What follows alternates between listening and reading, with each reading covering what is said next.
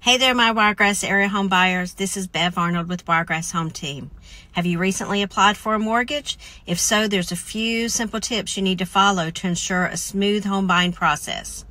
After you've applied for a mortgage, don't deposit large sums of cash without talking to your loan officer first. Large deposits can be difficult to trace and lenders may consider this a red flag. Don't make any large purchases and don't co-sign loans for anyone else. Both of these things can increase your debt to income ratio. Don't switch bank accounts. Lenders need to be able to track assets, so it's essential to keep your finances consistent.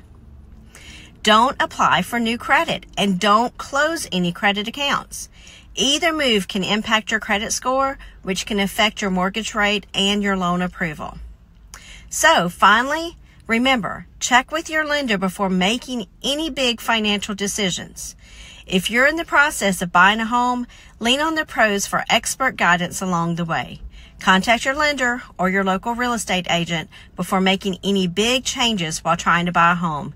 You'll thank us later.